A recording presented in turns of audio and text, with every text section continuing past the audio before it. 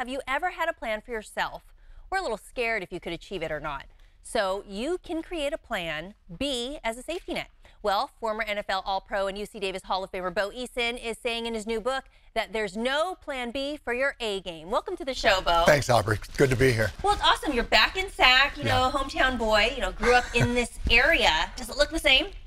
It's a little different. it's a little different. It's been a while since I've been here. Mm-hmm. I live in LA now, right. right? So I'm used to traffic, but I couldn't believe how much traffic was in Sacramento this morning. Oh man, yeah. There's uh, yeah. definitely traffic. Depending on what time you hit the road and what direction you're going, yeah. you're probably going to run into some. All right, so you went from being a UC Davis Hall of Famer to an NFL All Pro player for the Houston Oilers and then the 49ers. So tell us about your amazing journey. Yeah, I would say, I mean, it's a crazy journey going for, you know, I grew up in the Delta, so small towns, a farm community. My brother and I both got to play in the NFL and then after that just just went to you know went to broadway went to new york wrote a play perform that, and the and the journey just kind of keeps unfolding as we go. Wow, you know, talk about growing up in the Delta, then playing on the big stage of the NFL, then yeah. being in New York City. Now you have a book.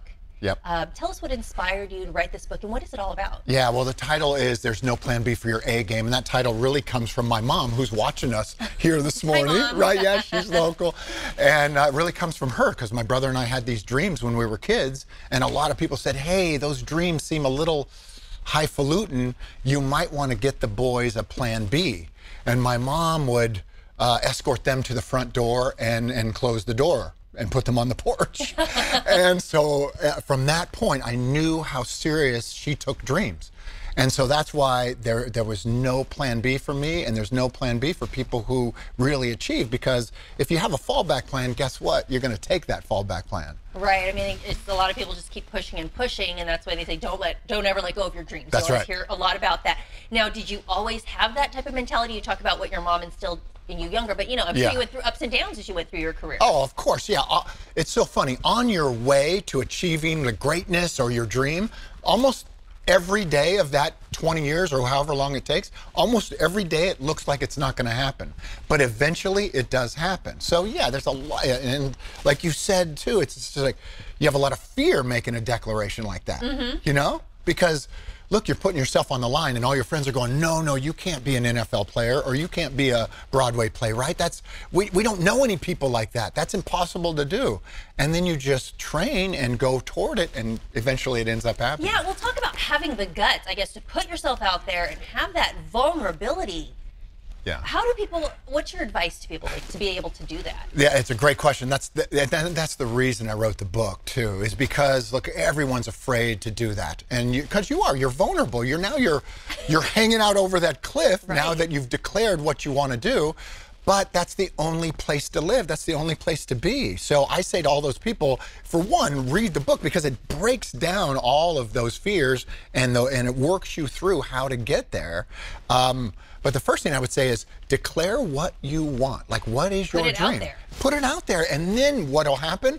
Great people will then surround you and help you get there. I love it. Uh, you know, that reminds me of that quote, you know, you miss all the shots that you don't take. That's right. So you've created a four step process. Can you tell me about that? Yeah, the, the, the, first is we've already uh, talked about is declaration. That's the first. You have to declare what you want, just like the Declaration of Independence. Mm-hmm. 250 years ago, they declared, and you and I live out that freedom every day. Your declaration, our personal declarations, are exactly like that. We just live them out.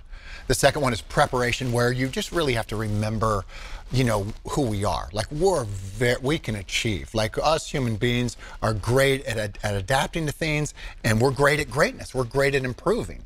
And number three is acceleration. That's where you really just pass everybody up who opts for their plan B. Okay. And the last step is domination, which I know that word domination. that word kind of freaks people out this day and age, right? But that's really about dominating your space and your head. Yeah. Like dominating yourself. Yeah, because I'm not talking about dominating other people. I'm talking about dominating your space. That's the four-step process. I love that. I love that. So you're in town because the UC Davis football team they're honoring you. Talk yeah. about uh, some of the events going on for you. Yeah, well, today at 4 o'clock at the Avid Reader in Davis, which mm-hmm. is a mm-hmm. bookstore, the Avid Reader, um, I'm going to be doing a book signing. Okay. So for those of the people who are, are, have the book, bring it over. I'll sign it. If you don't, they'll have books available there.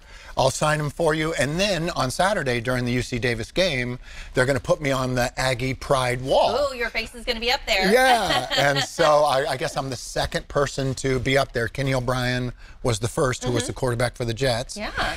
And uh, we were teammates, and so he'll be there tomorrow night too That's with cool. me, and uh, and they'll reveal this this my number, I guess, on Yeah, the wall. That's going to be you up on that yeah, wall. that's right. So it's very I, it's, it's very like cool and it's very humbling, and I get to see a lot of old friends and teammates. And, Nice. Well, it's awesome to have you back in the area and that, that UC Davis is doing this for you. That's really exciting. Then you have this book where you're sharing your story. You're making yourself vulnerable by sharing your story, but I'm sure a lot of people can relate. If they want to get your book, maybe uh, can they go online? Where can they get more information? They can go to any retailer. They can go to Barnes and Noble. They can go to Amazon. They can go to boeasonbook.com. If you go and you get it there, you actually get some bonus material and Okay. some gifts.